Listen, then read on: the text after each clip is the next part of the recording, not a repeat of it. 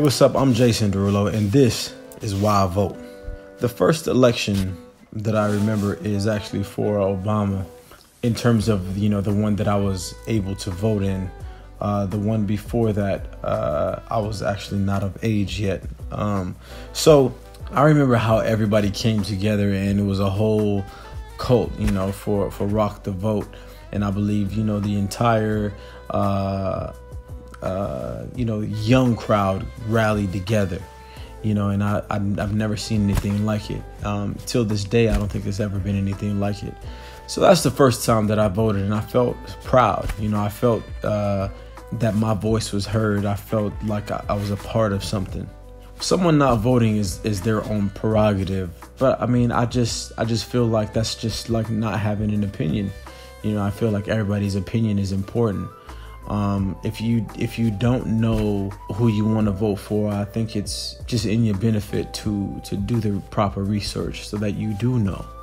You know, it's it's almost like not knowing um, what you want your future to be. You know, and some people have have that issue. I definitely don't recommend that. You know, I, I believe that you should know who you are and, and what you want and where you're going you know otherwise you know the, the your future is kind of lost and, it's, in it's up in the air. Um, but part of being free part of being american is is having the right to vote.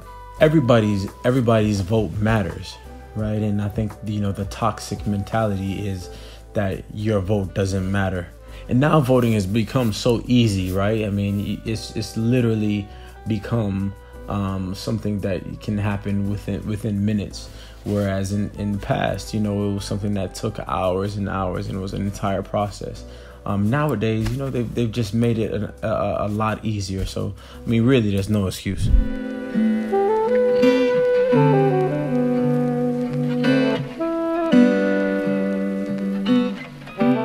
Guys, thanks so much for watching. Did you like that video?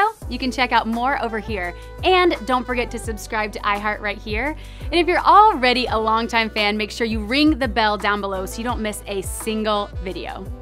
Bye guys.